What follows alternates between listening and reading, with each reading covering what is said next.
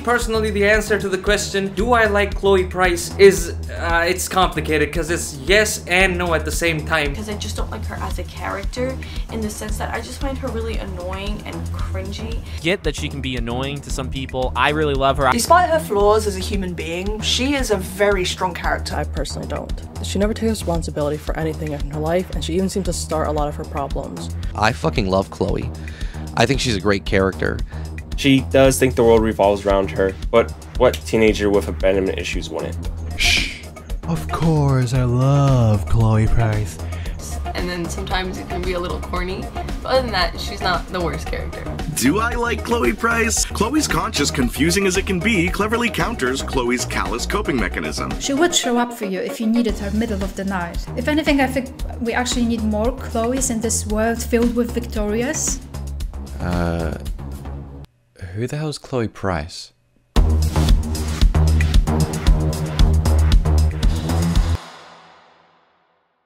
Chloe Price is a very controversial character. At the end of Life is Strange, you're left with only two choices save your town, Arcadia Bay, or save Chloe. Well, if you put in all the factors, it's up to you to decide. Most people I know, as you can clearly see, have grown a pretty strong attachment to Chloe. Others, not so much. So the question lingers is Chloe Price a good person? Well, let's start off by getting to know her. During the time of the original Life is Strange game, Chloe Price is a 19 year old girl who lives in Arcadia Bay, with her mother Joyce and stepfather David. Her and her stepfather do not have a good relationship.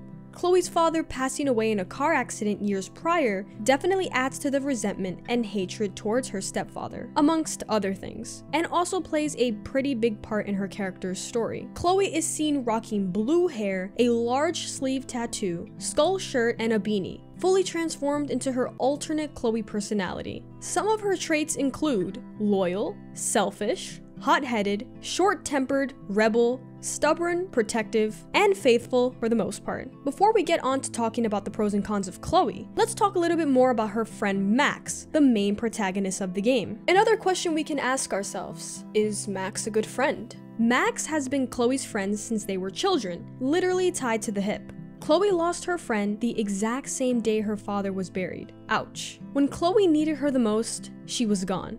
Five years later, Max shows back up to Arcadia Bay and unintentionally finds herself reuniting with Chloe again. Now, of course, you can say that Max is a horrible friend for leaving, but was she really in control? No, her parents were so I don't really find it equitable to put all of the blame on Max. If you take a look at the text between Max and Chloe after her father's death, you can see that while Chloe did try to reach out through text shown between them in the game, Max got carried away in her own world, practically leaving Arcadia Bay and Chloe behind, without really wanting to revisit any part of it. I think Max, being Chloe's best friend, could have reached out to her. I mean, especially if you left so frantically, and Chloe had absolutely no support. With Joyce, her mom, mourning on her own, Max could have reached out, checked up. I mean, morally, that's what I would do. Because this is when she needed that support, and the only person that can give it to her wasn't there. In the prequel, you see Chloe talk about Max, showing that she still has love for her, even with her not being around. This is also where we kind of see that mother and daughter duo break. While Joyce was mourning on her own, Chloe was too. Since Chloe's father was such an important part of both their lives, I feel they would have benefited from mourning together and growing together to make their bond stronger and healthier. But it doesn't always work that way. Joyce eventually moved on, finding David, and Chloe really didn't. She was still mourning, being hostile, not having anyone to depend on, which is where her best friend Rachel came in, her angel, to save her. What's interesting is that you see the same thing happen between the relationship between Joyce and David. In Life is Strange 2, if you chose the sacrifice Chloe option, you find out that David and Joyce separate because she couldn't handle her daughter's death. Yes, thankfully they keep in contact, but as you can see, this was another time Joyce had blocked herself off to the point where she lost him too. Now, don't mistake in this for Joyce being a bad mother. She constantly cooks for her, tries to keep her out of trouble, defending her, and honestly takes her bullshit for the most part. Their relationship isn't perfect, but there is still love there. David, Chloe's stepfather, is an abuser, depending on your choices, of course. Some scenes even implying that David had actually hit Chloe before this, and it wasn't just a one-time thing. David becomes a character that somewhat redeems himself towards the end, but he's extremely hard-headed, You can tell that in some aspects he does mean well, but has zero clue on how to approach anything correctly. It being more complicated for him, given Chloe's unappealing attitude towards him. There's always a clash. Was Rachel a good influence on Chloe at all?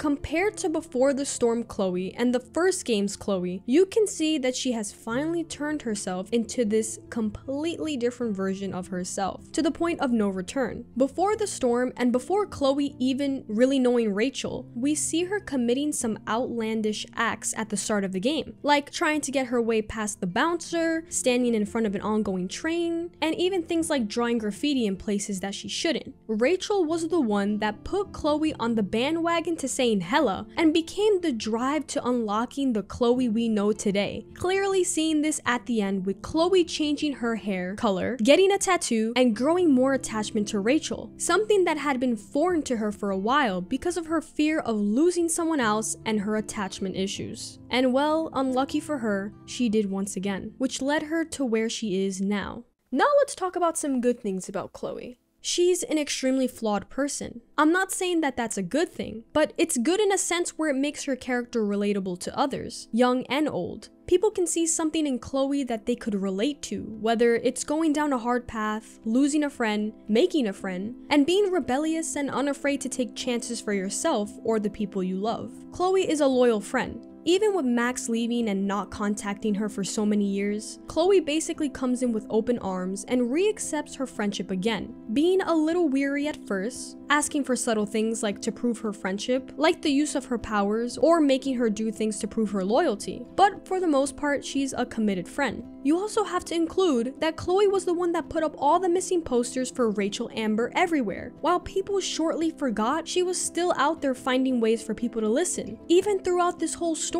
it's Chloe searching for her lost friend. And with some bumps in the road, like finding out about Rachel's secret relationship with Frank, she still never stops trying. Chloe lost a lot of her childhood, but throughout the story you see that that's still inside of her. Despite all the tragedy she's been through, she's always looking for a way to have an adventure and have fun, almost like when she and Max were younger, and would pretend that they were pirates, searching for treasure and going on these mythical quests. Only at this point in time, they're searching for a human being. She's not afraid to speak up about what's right wrong. An example of this is when we learn more about her character in Before the Storm. Her principal is accusing her of certain things, and Chloe doesn't tolerate it because of how one-sided the whole situation is. Even with Rachel defending her, the principal has his own personal opinions on Chloe, but that doesn't stop her from speaking up. Chloe is not a shallow written character. She's very complex which makes her more interesting as a character. For someone who's been through what she has, it's totally emotionally valid for her to have some type of attitude towards certain people at times. Not saying that it's always the best and could sometimes go a little overboard where it's just plain out inconsiderate, but that's depending on your choices and the player to decide. And while there are good things about Chloe, there are some cons. Chloe Price can be very selfish at times. Actually, 50% of the time, she might annoy you to death and question whether she's worth saving. An example of this can be seen during the diner scene. As Max is trying to explain to Chloe about her brand new power, the first thing that comes to Chloe's mind is it's only a toy and who they could bang. Chloe also immediately suggests they go play around with the power. Zane, we have to play. I don't have time. You did not just say that. Chloe likes to do a lot of victim blaming throughout this game. For example, blaming her mother for being the reason her father died because she asked for a ride home, stating that she has to blame someone, otherwise it's her fault. Chloe, you can't keep blaming me and everybody for everything wrong in your life. It's so not fair. I gotta blame somebody, otherwise it's all my fault. Fuck that. Chloe can be narcissistic. She thinks the world revolves around her, which at some point everyone might think about themselves too. In one scene while Chloe comes downstairs to see her mom and Max, she immediately thinks they're talking about her. The last time I ever saw Chloe truly happy. Did you guys have a bonding session about how fucked up I am? It's not always about you. Chloe, please, it's too early to start picking a fight. Eat instead. I'll keep the warden busy while you go peek in the garage. Now stop whispering or I'll know you're talking about me. Stop being so nosy, Mother. Geez, I can't do anything around here without everybody getting up in my shit. No one can even joke with you, Chloe. You fly off the handle like that. Excuse me.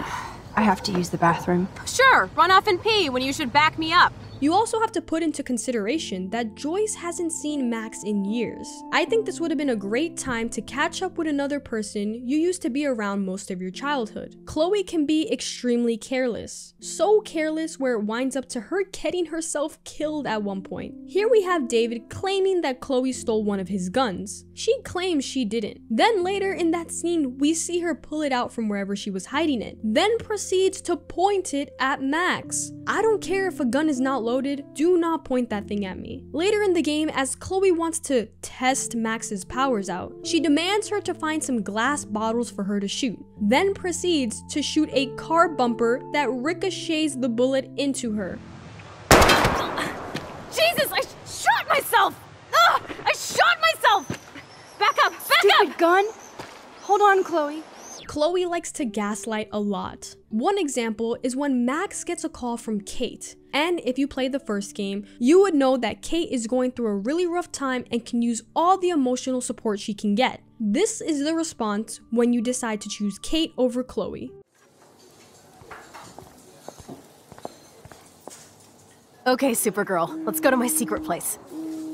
Don't even answer. We have places to go and people to do. Come on, before Mom starts some more shit. Let's bail. It's Kate Marsh from Blackwell. Big whoop. You don't call me once in five years and now you're all over some biatch you see every day at school? I see how you roll. So go ahead, chat up Kate Marsh from Blackwell. I've got other people to hang out with too. Hey, Kate. What's up? Please, don't let your best friend get in the way. You okay?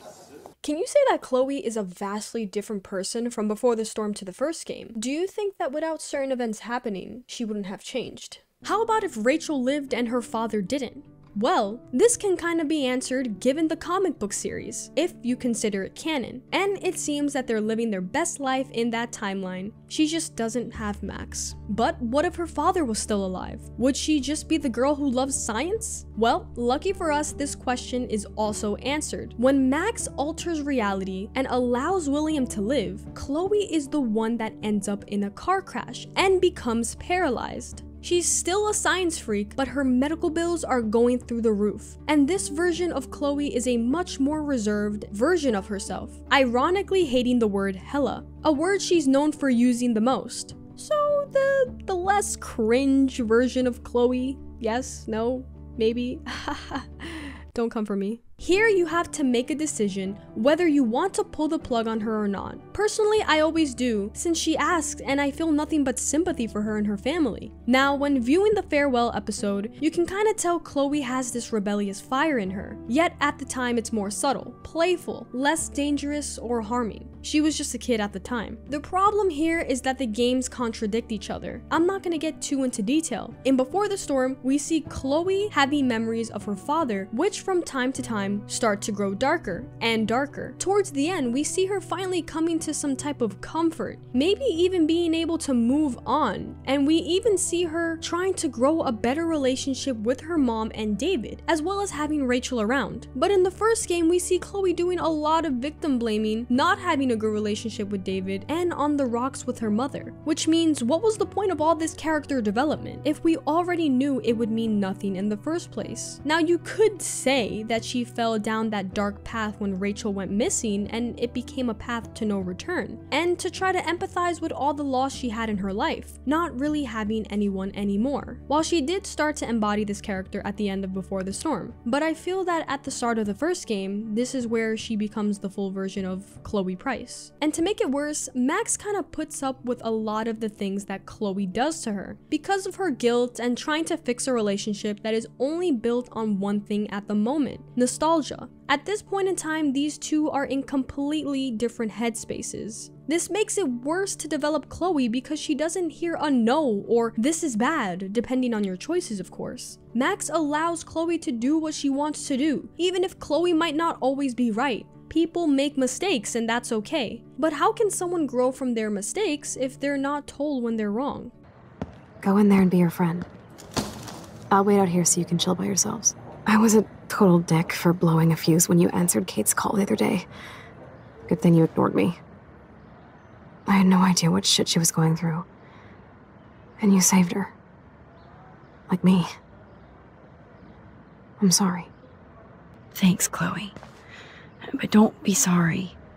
We're all on the same team. Team Max. It's so obviously bad that even towards the end, another rendition of Max literally tells her that she's basically an idiot for trying to make this friendship work. Chloe still feels this hostility and resentment because of her fear to grow any sort of new attachment. And as I said before, you have two choices, save Chloe or Arcadia Bay. One can say that saving Chloe is the correct choice because without Chloe, Max isn't Max. Chloe is the emotional drive of the story, and a piece of Max that she can't lose. Without her, she isn't whole. One can infer that the whole story becomes pointless and all that work and time altering is for absolutely nothing since Max didn't do what she said she would, not let go again. Then on the other hand, it's one person against thousands of people. And if the whole game is you trying to save Chloe from constantly dying, is it even worth it to save her? I mean, technically speaking, wouldn't she just keep on dying? To sum this video up, I don't really have a final answer to these questions. And that's because there is no canon ending, and the game has so many different options that it comes down to the player themselves. I think that at the end of the day, Chloe is a good and bad person. Only you can decide, and everyone should respect your opinions. What are your thoughts? I'd love to hear them, so be sure to write them in the comments down below. Thanks again to all the LIS creators that hopped on this video. Be sure to check them out if you guys love LIS and want to check out some new content. The reason I like her is because of the sort of friend she is. Chloe doesn't really connect with a lot of people in the stories, but I really respect the fact that she firms the connections she already has. Again, in cases of a select few people. I also really like her hair, by the way. Now coming to things that I don't like, first up, some of her reactions just come out of nowhere like someone who doesn't have a safe word. And the second one is that she can be straight up mean for no apparent reason at points. And this happens especially with Joyce. Also, no matter how you put it, taking money from a fund that is reserved for people in need just doesn't sit right in my book in any shape or form. Without Chloe, you know, Max is kind of the center point. Obviously, she's the main character. She's my favorite character in Life is Strange in general, but it really doesn't work without feeling something for Chloe. The entire journey of what Max is doing ending with the big decision, like it or hate it. And then also you go through the entire game and Chloe just consistently dies and you have to figure out a way to save her and just so much pain and the experience that Chloe has gone through her entire life. So I personally don't like Chloe Price. I feel like she's really self-centered and selfish, but I mostly don't like her because I just don't like her as a character in the sense that I just find her really annoying and cringy.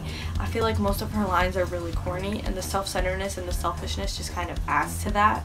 And she's had her fair share of loss and abandonment issues throughout the Life is Strange series. As a person who has experienced both of these things, I like that I can relate to her and I know that other people feel the same. They feel they can relate to Chloe as a character. I appreciate that the writers of the series do not sugarcoat her suffering at all in any way and a lot of the scenes and dialogue with Chloe is just extremely raw and you don't really find many games doing that or have characters like that, she still has a good heart. Thank you so much for Purple Dough for having me on your channel. I really appreciate it. Don't forget to like and subscribe. Two, there's no character development within any of the chapters, so at the end when she chooses to self-sacrifice, it just feels fake. And in three, having a mental illness doesn't absolve you of your actions, especially if they're harmful to others. It just doesn't at all. And while Chloe Price got on my nerves plenty of times while I was playing through season one of Life is Strange, I think that Deck 9 did a really good job explaining why Chloe acts the way that she does. And I don't think that she would go through this great character development in the span of a week. Near the end of the story, she does show that she has a change of heart. She has someone that she cares about now. She's very relatable, she's very edgy, she's very angsty, she's very pretty. But she can be pretty annoying sometimes. And she's also selfish. And then sometimes it can be a little corny. But other than that, she's not the worst character. But there is one very interesting scene that almost redeems Chloe. In episode 4, if the player lets Chloe kill Frank, she becomes apologetic, and instead of blaming Max, Chloe takes responsibility for her own actions. I cannot actually relate to her, but I admire her a lot. Like, she lost William, she kinda lost Max, then she lost Rachel, yet she remained the same funny, witty, lively, self dependent, confident person that most of all I feel like you really can rely on. Uh. Who the hell's Chloe Price?